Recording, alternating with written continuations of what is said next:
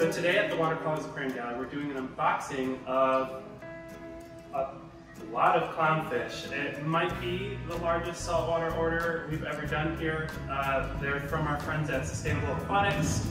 And if you listen to our podcast, you know I'm a big clownfish nerd. And Ben was very generous in allowing me to pick out several wild type clowns, so I'm really Yay. jittery to open this up. Here we go, guys. Then box number Oh one, my gosh, feels like we've been waiting forever for these to come in. box number two. Yay. Let's start with this one. okay, starting with box number one. Yes, it says one of one of two, so that's the one to start with. We've gotten shipments from these guys a couple of times before, and I've pretty much always been pleased, so. Big, happy, healthy clownfish most Yeah. of the time. Let's see how this works. So, Sustainable Aquatics packs them really well. Because of all the crazy things going on, they are one day late. But Sustainable Aquatics promised me that they're still going to come in and still be just fine. All right, I'm seeing some guys wiggling around in there, so. cute little cinnamon. Oh no! They're tiny! Yeah. Some stuff. Yep. So just hang out just a minute. Wait, don't, don't sneak peek. Oh,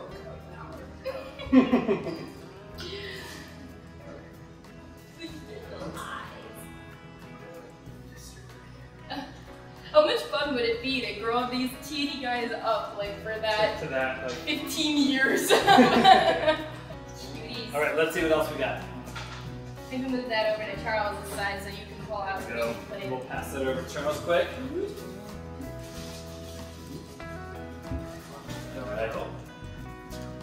Just says B. Those are black clowns. Now, one of the things that we did order were some clowns that are allegedly, not allegedly because we trust our source, true F2, true Darwin clowns. So those would be offspring of clowns actually collected from Darwin's Bay in northern Australia.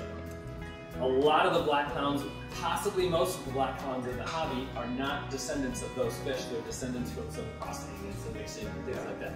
But these are definitely descendants of the genuine original black clowns. And I believe some of those are. No, this has the orange face, so that probably means it's not.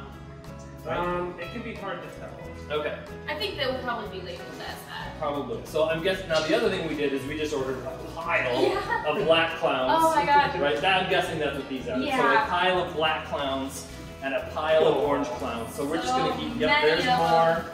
Wow. There's more. These would be black ocellaris.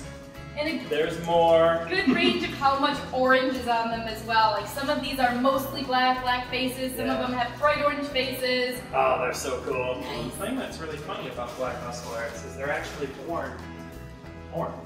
Oh, really? they darken as Yeah, they get older. yeah. I did not know that. So it's possible that even these with orange faces will lose that as they It's age? potential. Okay. All right, so that's a pile of black clowns. Nice. Those We will be also so cool in the tank. A pile of orange clowns. This says ocellaris. That could be some of the fancy types. Looks just like an orange clown Uh, to me. probably just orange. Oh, there we go. That's what the zero. Uh, oh, orange. Okay. I get it now. I'm a really smart guy. O is for orange. B is for black. Makes all kinds of sense. So this is just a pile of orange so ocellaris. many. I can't wait to see these guys all swimming around in the tank together. I believe it's a total of 70 clowns 70? of just the orange and the blacks, Oh not counting the specialty clowns that we ordered. So what? Probably 50 orange and 20 black or I something like that, that. might be the ratio. Yeah. Wow. See, these are just orange clowns, and they just keep on coming. ah, I love a tank full of clownfish. Here we go. Still more. It's okay. I can look through. I'm just gonna keep coming, guys. so many bags of orange clownfish. We're gonna go with some people from the aquarium club are gonna know this word for me. A passel of clowns. It's an inside joke for the aquarium club. Go check out the Grand Valley Aquarium Club and maybe you'll get that inside joke. All right, so what else do we get?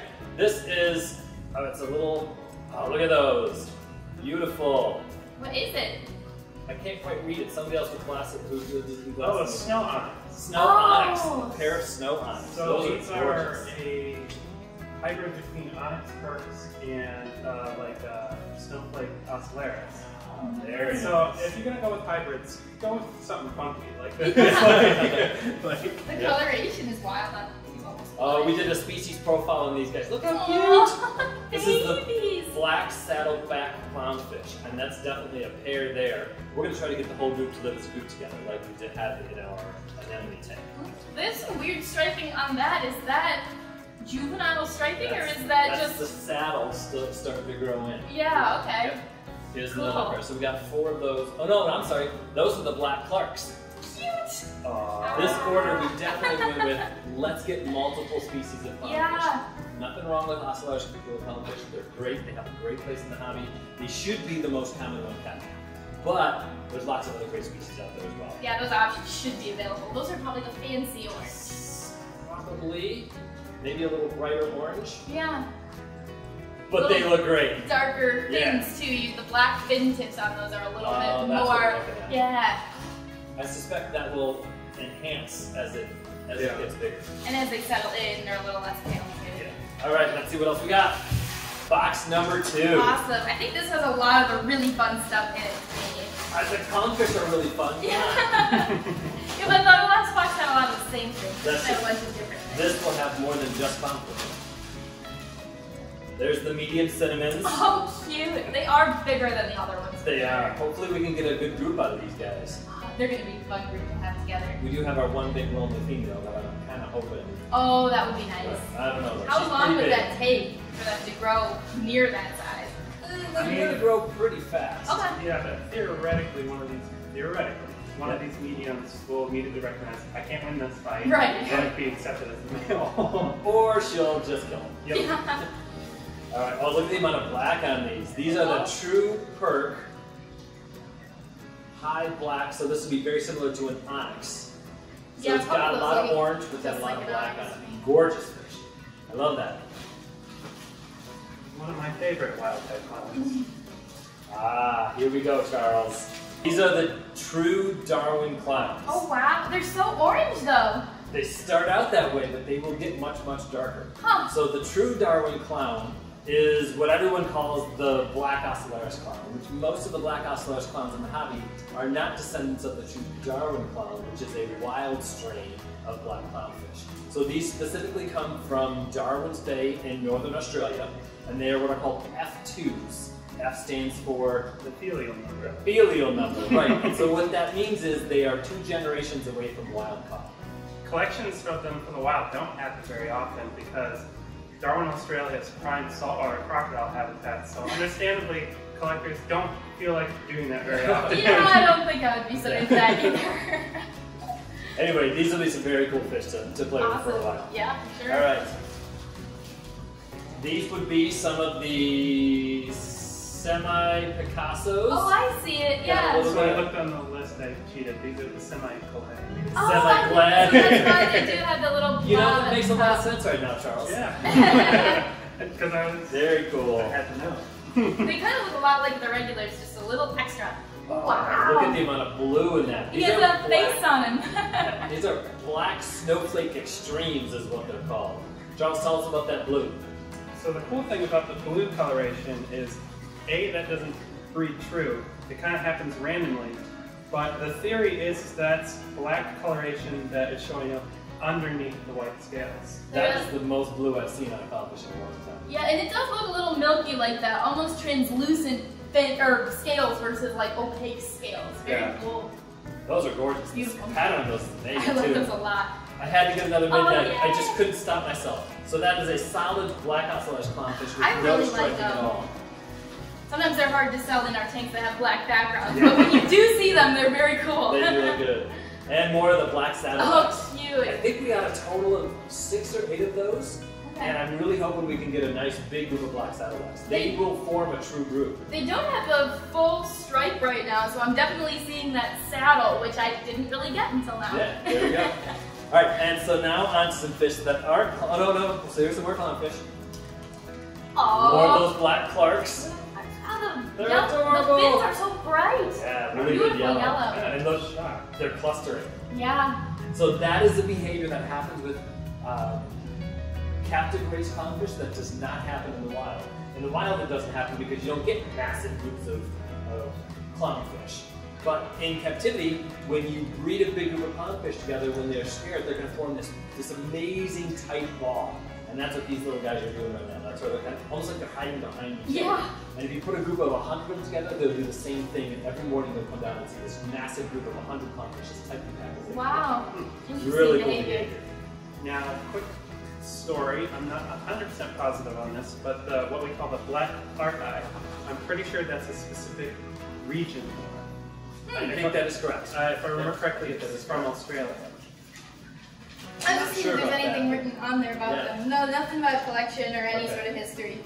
But we might be able to get that information. I was like, regardless, the black Clarkiis are a wild type clown. Yeah. Those guys, I've never seen anybody successfully keep more than a pair long term. Okay. Short term, they'll do okay, but th- they, they want to just have, the have a Clarkiis are really hard to do. Yeah, the Yeah. saddlebacks are kind of unique in that way that they work so well. More little midnight. More of the blacks, I just couldn't help myself. I do have a soft spot for the I little know, black I one. know. Maybe just because of ours is so personable. All right, so we, I decided to try some hair algae eaters. So these Oh. are saltwater bred sailfin mollies. Wow. So they're going to be the nice big sailfin mollies. They're going to be great in saltwater, and supposedly, we'll find out for sure, they're fantastic hair algae eaters. So we got a couple of bags of those. Well, that's definitely different in terms of saltwater fish. Yep. Oh, and some There's salt and some black ones and some salt and pepper. This feels very bizarre to me because it feels like a freshwater fish, but even though I know that they are that Yeah. adaptable. Yeah, absolutely. Those white ones are huge. Yeah, they're good. Really Nice cool. One, that, one has a really nice sail on it. Yeah. Huh. All right. Nice group of the striped Wow. fang Those- blennies. Did not come in small. No. These look fantastic. Usually when we get them, like this fish ever, they're like an inch long, and I didn't even really realize that they got this size. This, is really pretty nice. Close to full grown, I would say. I mean, beautiful yellow and green, but black and white stripes. It looks like like someone drew drew on them with a highlighter. Yeah. So the cool thing about the fang blennies, and the reason they are an open water, open swimming blennies, and they are bold, is because of those fangs. They're called flame blennies because they have venomous fangs that point a little bit outward. They're specifically designed for biting the inside of a fish's mouth. Wow. Take a bite out of me, it's gonna hurt. so they end up being a very, very bold addition to a reef tank. More fang blennies. These Oh, are the black line fang, fang blenny. Kind of a yellow body with that sort of Good blue head. black stripe. Yeah. Wow. And the Kamoharas, I like those guys a lot. Oh wow. Bluer than either of the other ones. Yeah. And last but not least, from Sustainable Products, we finished finishing off one of their corals. Oh, A really nice acan. I love that product. I couldn't resist. No, that bright red is amazing. Yeah. Yeah, that'll look really good under some better light. So there we go, guys. We got clownfish now. Well, Charles, are you disappointed? Nope. No. I think this came in as well as we could ever expect it, and some That's really good. fun stuff to work with. Clearly, they were packed right. Look for these coming out of quarantine soon. Uh, in the meantime, have lots of fun and keep those hands wet.